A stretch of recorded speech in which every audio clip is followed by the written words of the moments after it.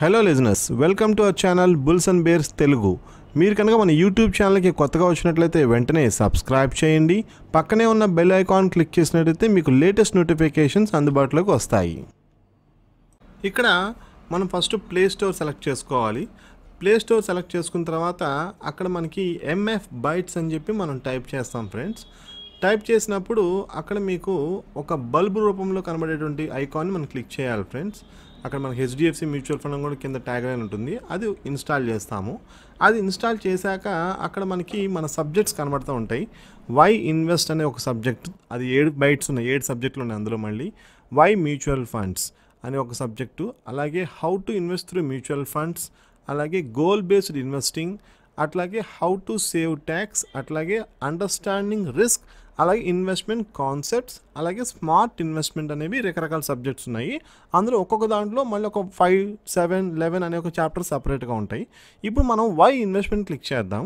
అందులో మనకి savings versus investment అనేది ఒకటి ఇంపాక్ట్ ఆఫ్ ఇన్ఫ్లేషన్ ఒకటి బీటింగ్ విత్ ఇన్ఫ్లేషన్ ఒకటి టైం వాల్యూ ఆఫ్ మనీ ఒకటి పవర్ ఆఫ్ కాంపౌండింగ్ ఒకటి ఇంపార్టెన్స్ ఆఫ్ స్టార్టింగ్ ఎర్లీ అనే ఒక సబ్జెక్ట్ ఒకటి ఇంపార్టెన్స్ ఆఫ్ ఇన్వెస్టింగ్ రెగ్యులర్లీ అనే ఒక సబ్జెక్ట్ ఒకటి ఉంటాయి. ఇవాళ మన సబ్జెక్ట్లోకి వచ్చేసరికి ఈ ఎంఎఫ్ బైట్స్లో ఉన్నటువంటి ఎయిట్ చాప్టర్స్లో ఫస్ట్ చాప్టర్ మనం వాళ్ళు డిస్కస్ చేస్తున్నాము. అది వై ఇన్వెస్ట్మెంట్ అనే ఒక చాప్టర్ ఇందులో అగైన్ మళ్ళీ సెవెన్ చాప్టర్స్ ఉన్నాయి friends so each and every టాపిక్ని వాళ్ళు మనం క్లియర్ కట్గా మనం ఎక్స్ప్లెయిన్ చేసి తెలుసుకోవడం ప్రయత్నిద్దాం ఫ్రెండ్స్ అట్లాగే ఈ సేవింగ్స్ అండ్ ఇన్వెస్ట్మెంట్స్లో వచ్చేసినట్లయితే ఈ ఫస్ట్ చాప్టర్ వాళ్ళు మన డిస్కషన్లో మీకు ఎంతవరకు కొంత నాలెడ్జ్ అనేది గెయిన్ అవుతుందని ఎక్స్పెక్ట్ చేస్తున్నాం ఫ్రెండ్స్ అలాగే మీరు మా ఛానల్కి కొత్తగా వచ్చినట్లయితే మా ఛానల్ని సబ్స్క్రైబ్ చేయండి. మమ్మల్ని ఎంకరేజ్ చేయండి ఫ్రెండ్స్ సో ఇందా మనం డిస్కస్ చేసాం ఈ ఎంఎఫ్ బైట్స్ అనే హెచ్డిఎఫ్సి మ్యూచువల్ ఫండ్ అనే ఒక చాప్టర్ మీరు మొబైల్ యాప్ ద్వారా డౌన్లోడ్ చేసుకొని అక్కడ కూడా లెర్నింగ్ చేయొచ్చు. అలాగే ఇవాళ ఫస్ట్ సబ్జెక్ట్ వచ్చేసరికి సేవింగ్స్ వర్సెస్ ఇన్వెస్ట్మెంట్స్ సేవింగ్స్ అనగా ఏమి? ఇన్వెస్ట్మెంట్స్ అనగానేమి అనే ఒక పదాల యొక్క అంతరార్థం ముందు మనం తెలుసుకుందాం ఫ్రెండ్స్ ఎందుకు ఇది ఫస్ట్ తెలుసుకోవాలంటున్నామంటే చాలామంది ఒక అపోహ సేవింగ్స్ ఇన్వెస్ట్మెంట్ రెండు ఒకటే కదా. పొదుపు అంటే ఏంటి పెట్టుబడి అంటే ఏంటి రెండు ఒకటే కదా అని ఒక భ్రమలో ఉండిపోతున్నారు ఫ్రెండ్స్ ఇది రాంగ్ ఎందుకంటే మనం కడుతున్న పెట్టుబడి అనేది పొదుపు రూపంలో మారుతుందా పెట్టుబడి రూపంలో మారుతుందా అనేది తెలుసుకోకపోతే మనం చాలా అనర్థాలు లోన్ అవుతాం ఎందుకంటే చాలామంది కడతారు కట్టి ఇది షార్ట్ టర్మా లాంగ్ టర్మా తెలియకుండా అది రిస్క్తో కూడిందా రిస్క్ లేకుండా ఉన్నదా అనేది తెలుసుకోకుండా సార్ ఐదేళ్ళు కట్టమన్నారు సార్ పదేళ్ళు కట్టమన్నారు సార్ కడితే ఎంత వస్తుందని చెప్పారు సార్ ఇవాళ ఏంటి సార్ ఇలా అయింది అట్లాగా మనకి రాంగ్ నోటిఫికేషన్స్ అనేవి జరుగుతూ ఉంటాయి. సో అందుకని మనకి ఈ యొక్క ఫస్ట్ చాప్టర్ మనకి ఎక్స్ప్లెయిన్ చేసింది కూడా అదే అనమాట సేవింగ్స్ వర్సెస్ ఇన్వెస్ట్మెంట్స్ సో సేవింగ్స్లో మీనింగ్ ఏంటి? ఇన్వెస్ట్మెంట్ మీనింగ్ ఏంటి? తెలుసుకోవడం కోసం మన యొక్క టాపిక్ కవర్ చేయడం జరిగింది. అట్లాగే ఈ యొక్క టాపిక్లోని ఈ యొక్క ప్రతి సబ్జెక్ట్ ఎంతో ఉపయోగంగా ఉంటుంది ఫ్రెండ్స్ సో కేర్ఫుల్గా మీరు వాచ్ చేయాలని రిక్వెస్ట్ చేస్తున్నాము. సో ఇందులో మనకి చెప్తుంది అదే ఫ్రెండ్స్ సేవింగ్స్ అంటే ఏంటి? Savings is the difference between your monthly income and your expenses so మీ యొక్క మంత్లీ ఇన్కంలో నుంచి ఎక్స్పెన్సెస్ పోగా మిగిలిన వాటిని పెట్టు పొదుపు అంటాము సేవింగ్స్ అంటాము.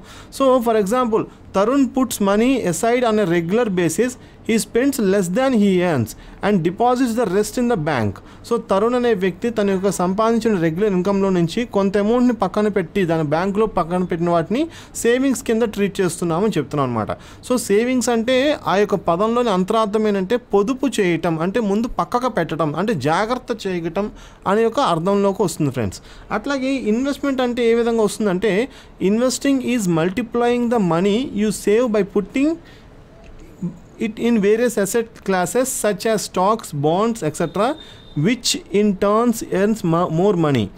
Investment అంటే ఇక్కడ ఖచ్చితంగా అది ఒక రెండు రెట్లు మూడు రెట్లు ఐదు రెట్లు పది రెట్లు పెరగాల్సిన ఆవశ్యకత అందులో ఉంటుంది అనేది ఒక ఇన్వెస్ట్మెంట్లో మీనింగ్ ఫ్రెండ్స్ ఇప్పుడు ఇన్వెస్ట్మెంట్ అంటే మనం చెప్తాం మామూలుగా ల్యాండ్ మీద పెట్టేదాన్ని ఒక ఇన్వెస్ట్మెంట్ అంటాము బిజినెస్లో పెట్టేదాన్ని ఇన్వెస్ట్మెంట్ అంటాం బిజినెస్లో సరుకు రూపంలో పెట్టేదాన్ని ఇన్వెస్ట్మెంట్ అనే మాటలో మాట్లాడతాం.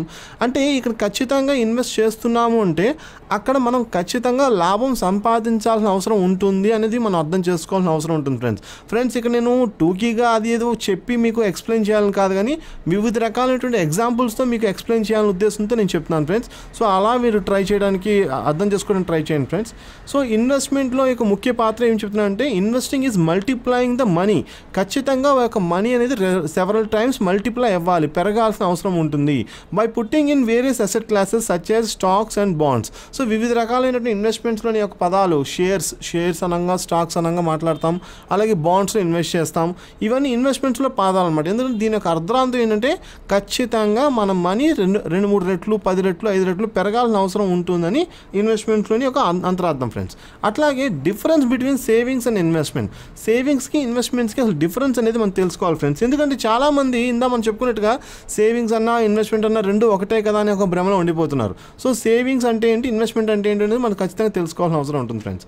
సేవింగ్స్లోని నాలుగు పాయింట్స్ చెప్పినట్లయితే రిటర్న్స్ అనేది ఏ విధంగా ఉంటుందంటే సేవింగ్స్లో savings in cash on in your bank bank account earns low returns so me bank అకౌంట్లో పెట్టే అమౌంట్ని సేవింగ్స్ అనే మాట మాట్లాడతాం. ఎందుకంటే దాంట్లో రిస్క్ లేని పెట్టుబడి సాధనం పొ- పొదుపు సాధనం. అంటే ఇక్కడ బ్యాంకులో పెట్టే అమౌంట్ ఏంటంటే పొదుపు పథకం కింద మనం ట్రీట్ అవుతుంది ఫ్రెండ్స్ ఎందుకంటే బ్యాంకులో పెట్టిన అమౌంట్ హండ్రెడ్ పర్సెంట్ సేఫ్టీ కింద మనం మాట్లాడతాం కాబట్టి అక్కడ వచ్చే రాబడి కూడా చాలా తక్కువగా ఉంటుంది అనేది మనం అర్థం చేసుకోవాల్సిన అవసరం ఉంటుంది. అట్లాగే సేవింగ్స్ యొక్క గోల్స్ ఎలా ఉంటాయంటే ఈ యొక్క గోల్ అంటేనే ఒక రకమైనటువంటి అవసరం అని అర్థం ఫ్రెండ్స్ ఎందుకంటే మనం గోల్ గోల్ అని మాట్లాడతాం. గోల్ అంటే పిల్లల చదువులని పెళ్ళిళ్ళని ఇట్లాగా మనం ఏదైనా ఒక నిర్దేశించినటువంటి అవసరానికి ఉపయోగపడేదాన్ని గోల్ అని మాట మాట్లాడతాం. ఇక్కడ గోల్ అంటే ఏమొస్తుందంటే ఆ యొక్క సేవింగ్స్ మన యొక్క అవసరాలని తీర్చాల్సిన అవసరం ఉంటుందని చెప్తున్నాం friends savings help you meet immediate goals such as regular monthly expenses so మనం బ్యాంకులో పెట్టిన పొదుపు డబ్బులు అనేవి అత్యవసరాలకు ఉపయోగపడతాయి తప్ప మనకి ఈ యొక్క లాంగ్ టర్మ్ గోల్స్కి ఉపయోగపడడం అనేది మనం అర్థం చేసుకోవాలి ఫ్రెండ్స్ ఇక్కడ చెప్తుంది అది క్లియర్ సేవింగ్స్ అంటే మనకి ఇమీడియట్గా అవసరం పడే వాటికి ఈ యొక్క రెగ్యులర్ ఎక్స్పెండిచర్కి ఉపయోగపడే వాటిని గోల్ కింద మాట్లాడతాం. సో ఖచ్చితంగా ప్రతి కుటుంబం కూడా ఒక నెల నుంచి మూడు నెలలు మూడు నెలల నుంచి ఆరు నెలల వరకు తన యొక్క జీతాన్ని కానీ తన యొక్క మనీని కానీ ఎమర్జెన్సీ ఫండ్ కింద మనం బ్యాంక్స్లో కానీ ఎక్కడైనా దాచుకుంటాం. పోపుల డబ్బాలో పెట్టుకుంటాం. లేదంటే మన చేతికి అవసరాల కోసం మినిమంగా మన చేతిలో పట్టుకుంటాం.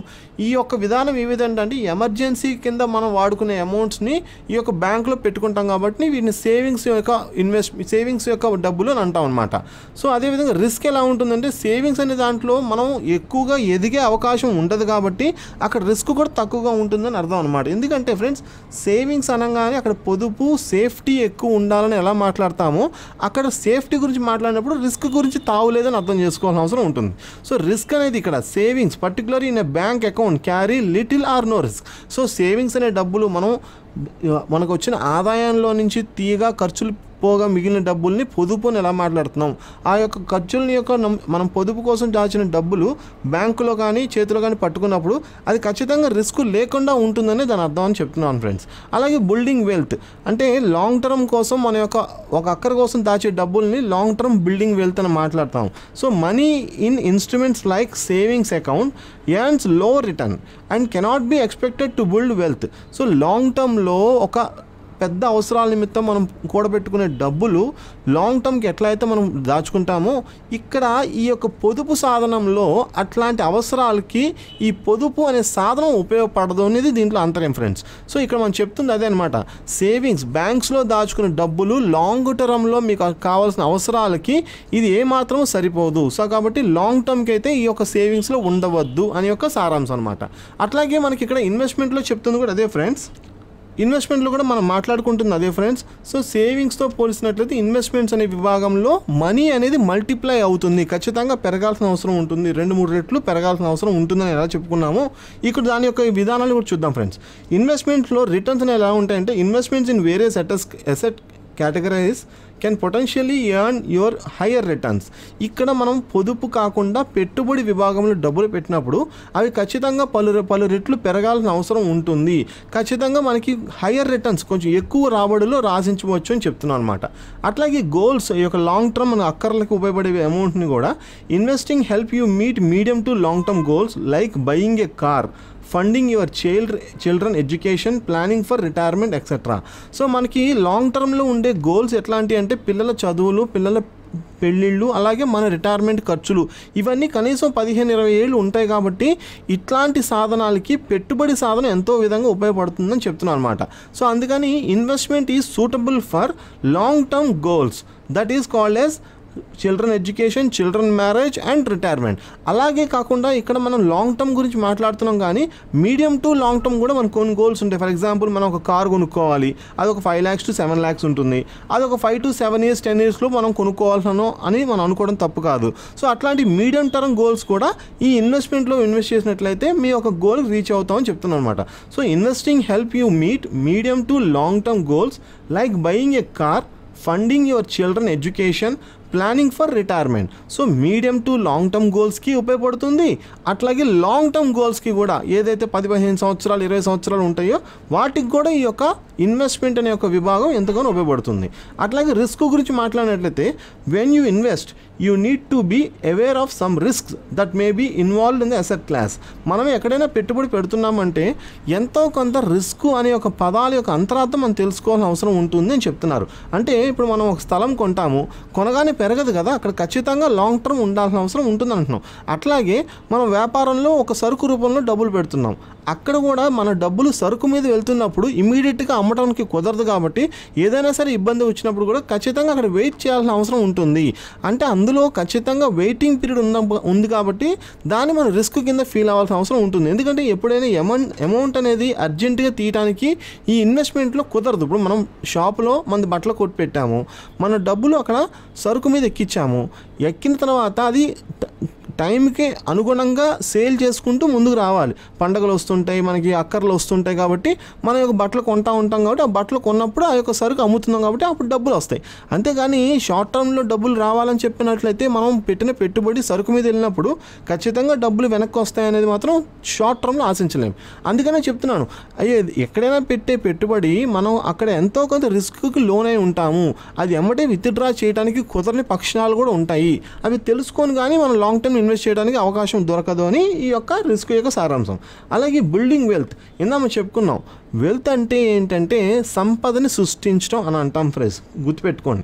బిల్డింగ్ ఏ వెల్త్ లాంగ్ టర్మ్లో మనం ఒక పెద్ద అమౌంట్ని మనం తయారు చేసుకోవాలనుకున్నప్పుడు సంపదని సృష్టించాలనుకున్నప్పుడు ఇటువంటి పెట్టుబడి సాధనాల్లో పెట్టినట్లయితే ఖచ్చితంగా ఆ యొక్క సాధనానికి తగ్గట్టుగా మల్టిప్లయింగ్ ఆఫ్ మనీ మన మనీ యొక్క రెండు మూడు రెట్లు పెరగడానికి అవసరం ఉంటుంది. So investing has the potential to earn higher returns and increase your wealth over a period time so ఇక్కడ ఏం చెప్తున్నామంటే ఈ యొక్క ఇన్వెస్ట్మెంట్లో ఉన్నట్లయితే ఖచ్చితంగా ఖచ్చితంగా హయ్యర్ రాబడులు ఎక్కువ రాబడులు వస్తాయి. అట్లాగే ఇక్కడ లాంగ్ టర్మ్ వేచించినట్లయితే ఎక్కువగా మన యొక్క అమౌంట్ని కార్పస్ కూడా బిల్డప్ చేసుకుంటామని అర్థం ఫ్రెండ్స్ సో ఇక్కడ మన ఇన్వెస్ట్ గురించి తెలుసుకున్నప్పుడు ఖచ్చితంగా సేవింగ్స్కి ఇన్వెస్ట్మెంట్స్కి డిఫరెన్స్ అనేది మీరు ఖచ్చితంగా నేర్చుకోవాల్సిన అవసరం ఉంటుంది. తన దాని తర్వాతే ఎటువంటి పెట్టుబడి సాధనాలు ఉన్నాయనేది మీరు తెలుసుకోండి ఫ్రెండ్స్ అంతే తప్ప సేవింగ్స్కి ఇన్వెస్ట్మెంట్స్కి డిఫరెన్స్ తెలియకుండానే మీరు పెట్టుబడి పెట్టేస్తాను లాంగ్ టర్మ్ ఉంటాను నాకు రిటర్న్స్ రావాలంటే కష్టం అనమాట సో అందుకని అక్కడ మనకు సరదాగా కొన్ని క్వశ్చన్స్ కూడా ఇచ్చారు ఫన్నీ క్వశ్చన్స్ సో ఇక్కడ the aim of investing is to help you meet your immediate goals like regular monthly expenses investing అంటేనే లాంగ్ టర్మ్ మళ్ళీ ఇక్కడ ఇమీడియట్ గోల్స్ రెగ్యులర్ మనీ అనేది ఎలా అంటాం? సో ఇన్వెస్ట్మెంట్ చేసేది లాంగ్ టర్మ్ కోసం. సో షార్ట్ టర్మ్ కోసం అయితే సేవింగ్స్ చేస్తాం. So this is called false అట్లాగే Aditi keeps her surplus money in her bank account she saves తను తన దగ్గర మిగిలిన డబ్బులు బ్యాంక్ అకౌంట్లో పెట్టుకుంది. సో దాన్ని ఎక్కడ పెట్టుకుంది? సేవ్ చేయడానికి పెట్టుకుంది. సో బ్యాంక్ అకౌంట్లో పెట్టేది ఎవరైనా సరే సేవింగ్స్ కోసం పెడతాం. సో దిస్ ఇస్ ట్రూ అట్లాగే ఇక్కడ investing in equity has the potential to beat inflation and build wealth in the long term ఇందా మనం చెప్పుకున్నాం. ఇన్వెస్ట్మెంట్ అనే విభాగంలో పెట్టినప్పుడు అది ఎక్కడైనప్పటికీ షేర్స్లో పెట్టినా ఈక్విటీ ఓరియంటెడ్ మ్యూచువల్ ఫండ్స్లో పెట్టినా ఈ యొక్క లాంగ్ టర్మ్కి ఒక మంచి కార్పస్ అనేది తయారు చేసుకోవడానికి ఈ ఇన్వెస్ట్మెంట్ అనే ఒక విభాగం ఎంతగానో ఉపయోగపడుతుంది అని చెప్తున్నాం ఫ్రెండ్స్ సో ఈ విధంగా మీరు ఒక్కొక్క చాప్టర్ ఎంతో క్లుప్తంగా మేము ఎక్స్ప్లెయిన్ చేయడం ట్రై చేస్తాం ఫ్రెండ్స్ చక్కగా ఈ యొక్క చాప్టర్స్ని మీరు ఫాలో అయినట్లయితే మీకు బేసిక్ నాలెడ్జ్ నుంచి అలాగే ఇన్డెప్త్ నాలెడ్జ్ వరకు మేము ప్రొవైడ్ చేయడం ట్రై ట్రై చేస్తాం. సో మీరు కనుక మా ఛానల్ సబ్స్క్రైబ్ చేయకపోతే వెంటనే సబ్స్క్రైబ్ చేయండి. అట్లాగే మీ స్నేహితులకి రిలేటివ్స్కి కూడా ఈ యొక్క షే ఈ యొక్క లింక్ని షేర్ చేయండి. తద్వారా మీతో పాటు వాళ్ళకి అవేర్నెస్ వస్తుంది అనేది మేము భావిస్తున్నాం ఫ్రెండ్స్